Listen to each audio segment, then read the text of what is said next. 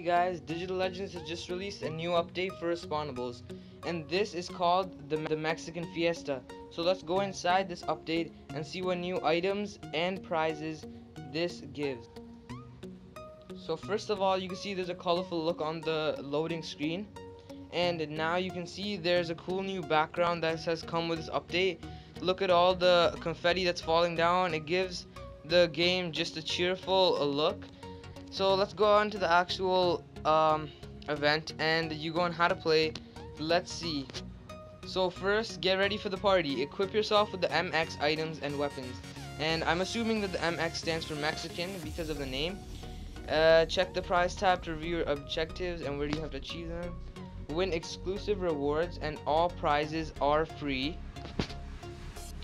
And here are the tips. So uh, the head I think gives 50% damage to um, MX weapons.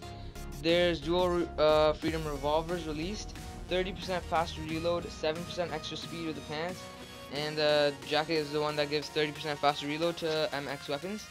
And 17 days left. And it says this is not over yet, so you could use your MX weapons to kill 10 enemies in a row.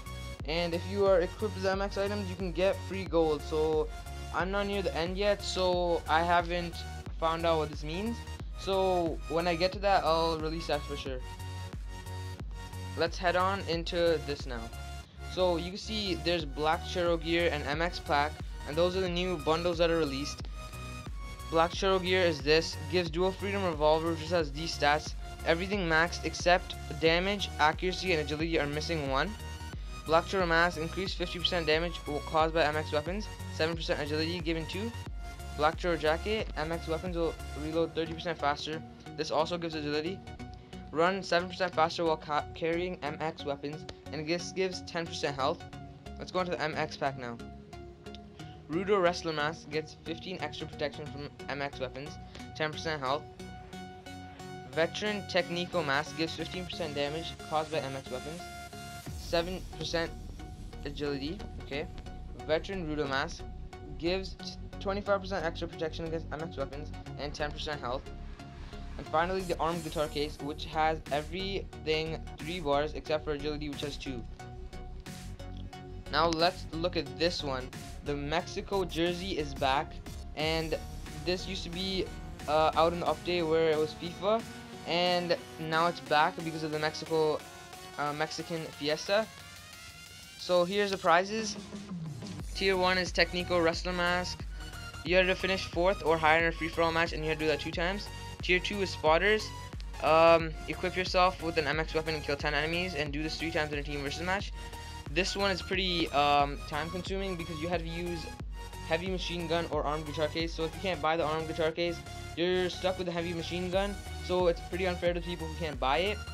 The Freedom Revolver is okay. It's um, not as good as a real revolver, I'm pretty sure, because I haven't seen many people just kill me with it in games.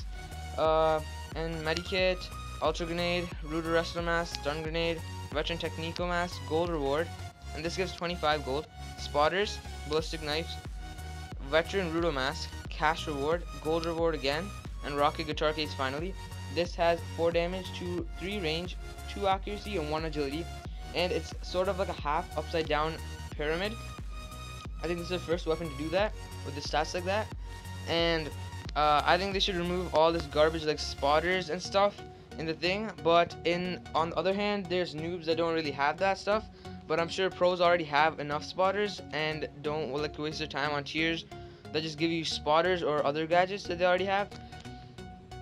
And yeah, so that's it for today. And I hope you guys go into this and try to finish it as fast as possible. You have 17 days, so you have a whole lot of time, and I'm just going to be enjoying myself trying to finish the event and trying to kill people with heavy machine gun. And my tips for that tier are use heavy machine gun, of course, or you can use a guitar case, but um, I'd say use Ghostbuster pants because lots of people are using stun grenades, and use some anti-explosive gear, also some agility like this Technico Wrestler Mask. So those are my tips, guys.